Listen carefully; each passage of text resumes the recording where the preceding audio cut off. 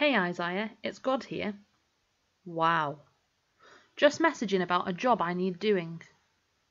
Oh no, I can't speak to God. I've done too much wrong. I've forgiven you, and I need someone to be my messenger. Send me, I will go. It won't be easy. They won't always listen. I will take your messages to the people. Wow, that's amazing. Isaiah got a message from the Lord. Of course, it wasn't really a text message. They didn't have phones in those days. Isaiah lived a long time ago, but some of his messages are still important and useful for us today. We can find his messages in the Bible, in the book of Isaiah. Each week, we are going to be looking at one of Isaiah's messages from God and thinking about what it means for us today. But first of all, how did Isaiah end up as one of God's messengers anyway? Here's what happened Isaiah had a vision from the Lord. He saw God sitting on his throne, and the angels were worshipping him. They were saying, Holy, holy, holy is the Lord. And Isaiah was a little bit scared. When God spoke, the whole building shook. And Isaiah said, Oh no, I can't see God. I'm not good enough. I've done too many wrong things. But God said, Isaiah, I've forgiven you and I've made you clean. And I need someone to go and take my messages to the people. Who shall I send? And Isaiah said, Send me, here I am, I will go.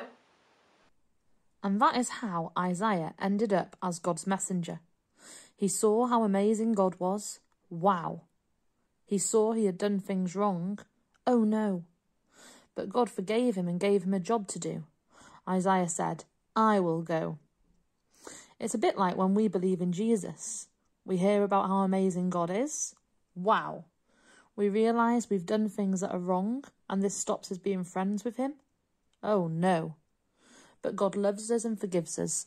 He gives us the job of telling everyone the good news that He loves us all and forgives us when we say sorry. All we need to do is say, I will go.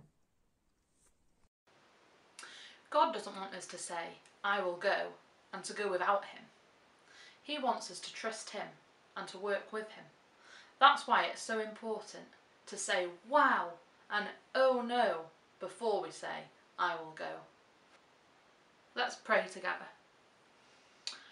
Father God, thank you that you are so amazing. Show us again who you are so that we can say wow. God, we are nowhere near perfect.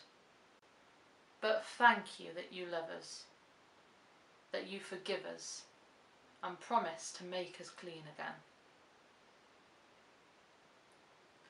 God, I will go. I will go and give your messages to the world. I will go and live like you, Jesus. I will go with you, with you helping me.